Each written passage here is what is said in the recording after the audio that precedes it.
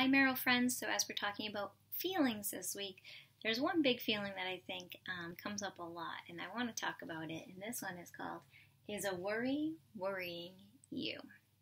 And this is by Ferida Wolff and Harriet May Savitz, and it was illustrated by Marie Le Tourneau. So, let's see.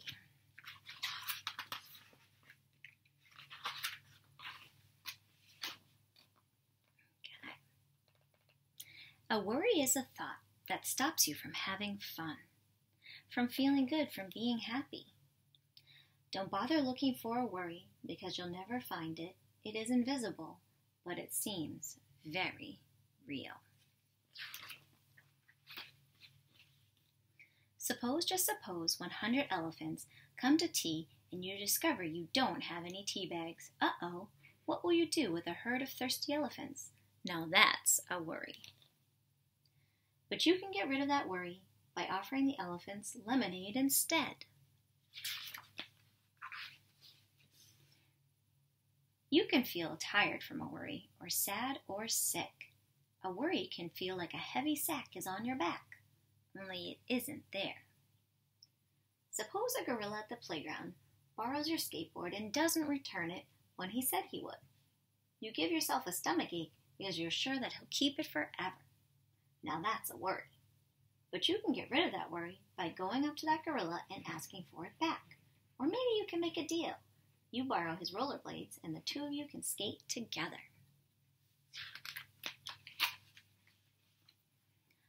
A worry can scare you out of your shoes. Suppose a monster moves in under your bed and you're afraid if you go to sleep it will do something horrible, so you stay awake all night. Now that's a worry. But you can get rid of that worry by singing the monster lullabies until you both fall asleep. A worry can make a perfect day seem gloomy.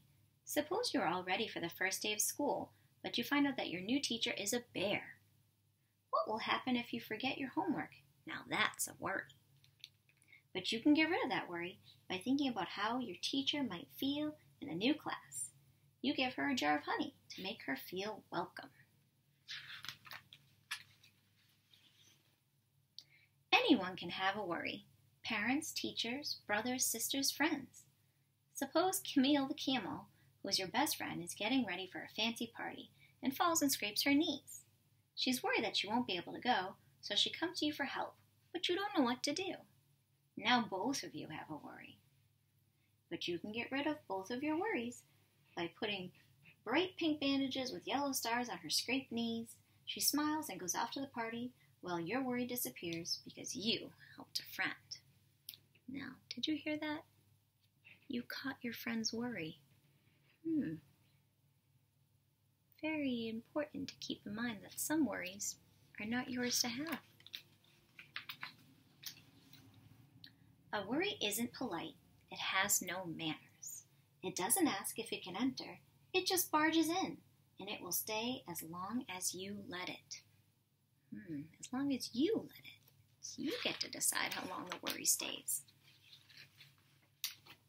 Suppose Uncle Herman is coming to visit, and you'll know he'll want to see you, but his voice is as loud as a roaring lion, and it makes you want to run away. Now that's a worry.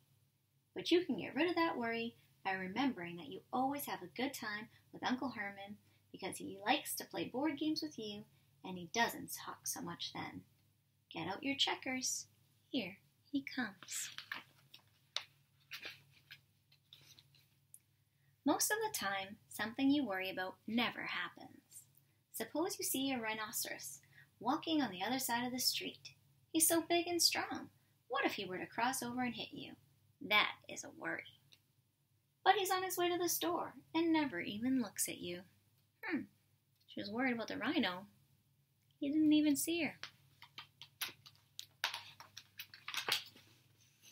A worry is as big or as small as you let it be.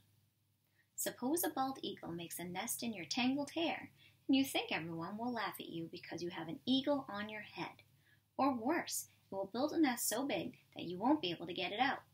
Or even worse than that, it will think you're a newborn eaglet and fly away with you, and you'll never see your family again. Whew, that seemed a little extreme. Now that's certainly a worry, but you can stop that worry as soon as it gets started by getting a haircut. The eagle will just have to find another tangle to build its nest. I don't know if you're noticing a pattern here. Every time there's a worry, they come up with a solution so that the worry can't happen. So, how can you get rid of a worry once it starts worrying you? You can. Imagine it away, put it in a suitcase, and send it packing. Seal it in an envelope and mail it away. Stand it in the corner while you have fun. Hide it in a closet and close the door. Do something else. Take out your deck of cards and don't let it play. Write a story, play with a friend, bake a cake.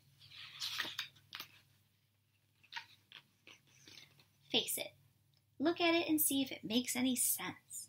Tell it to go away. Discuss your worry with someone else. Work on the thing that is worrying you. Think about another thought. Remember a good time that you had.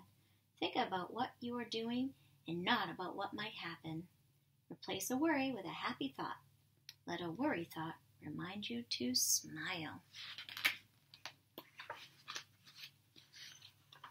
A worry knows something that you should know. You can't, you can get rid of a worry anytime you want. It just takes a little patience. Don't worry, you can do it. So, this book is saying that we all have things that we worry about. Some things are real things to worry about, and some things are just silly things that we worry about for no good reason, because they'll probably never happen. But you can get rid of your worry by not feeding it. You don't want to feed your worry. You want to tell your worry, that's nothing to be concerned about, and your worry will go away.